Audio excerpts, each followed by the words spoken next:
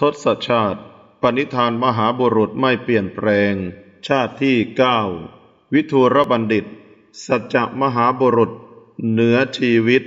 สัจจะปารมี ข้าราชการไม่ควรตั้งบุตรธิดา พี่น้อง หรือเครือญาติผู้ไม่ตั้งอยู่ในศีล ให้ดำรงตำแหน่งที่สำคัญ เพราะคนเหล่านั้นเป็นคนพาลยานวชิระ พระราชกิจจาภรณ์เทิดยานวชิโร ผู้มีปัญญารักษาตน พระโพธิสัตว์คิดว่า ครั้งแรก มานพนี้คว้างเราสองครั้งสามครั้ง ไปไกลถึงหกสิบโยชน์คราวนี้จะจับเราฟาดกับยอดเขาให้ตาย จะถามดูว่าทำไมจึงจะฆ่าเรา ขณะที่ปุณกยักษ์จับเท้าพระโพธิสัตว์ยกขึ้น ให้หัวห้อยลง หมายใจจะฟาดลงกับยอดเขา พระโพธิสัตว์จึงถามทั้งที่หัวยังห้อยอยู่ว่า มานพท่านเป็นอมนุษย์หรือเทวดา รูปร่างหน้าตาเหมือนจะเป็นคนดี แต่กลับไม่ได้เป็นคนดีอย่างหน้าตา ดูดูคล้ายจะสำรวม แต่กลับไม่สำรวมทำกรรมชั่วช้า ความรู้สึกดีๆ แม้แต่น้อยไม่มีในจิตใจท่านเลย ขอถามท่านหน่อยเถอะ ความจริงแล้วท่านเป็นใครกันแน่ ท่านจับเรา โยนลงเหวหวังให้ตาย เราตายแล้วท่านจะได้อะไร ปุณกะยักษ์กล่าวว่า ท่านผู้เป็นปราดเราเป็นยักษ์ชื่อปุณกะ เป็นอมาตของเท้ากุเวน ครั้นแนะนำตนเองแล้วได้บอกถึงสาเหตุว่า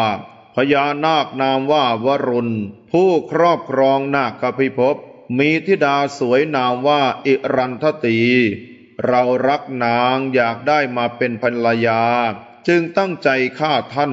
วิทูรบัณฑิตคิดว่า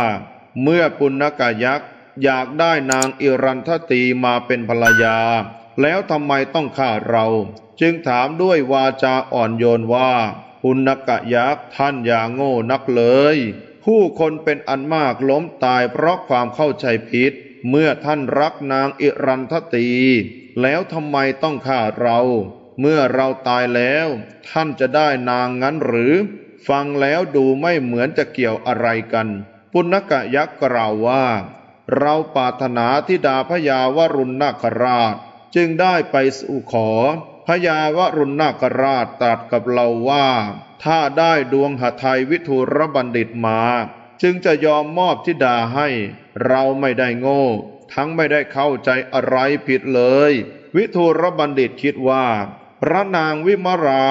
ไม่น่าจะต้องการดวงหทัยเรา แต่ว่าพญาวรุณนาคราช ฟังธรรมกถาของเรา เกิดความเลื่อมใส เอาแก้วมณีบูชาเรา คลั้นกลับนาคพิภพคงจะพรรณนาความที่เราเป็นธรรมกถึกให้พระนางฟัง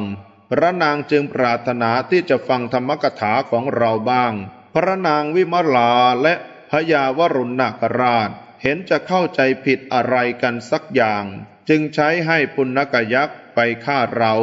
ความที่เราเป็นบัณฑิตทำให้เราประสบทุกข์มากถึงเพียงนี้ เมื่อปุณกยักษ์ฆ่าเราแล้ว จะได้ประโยชน์อะไร เราจะเตือนมานพนั้นให้รู้สึกตัว แล้วละเว้นชีวิตเรา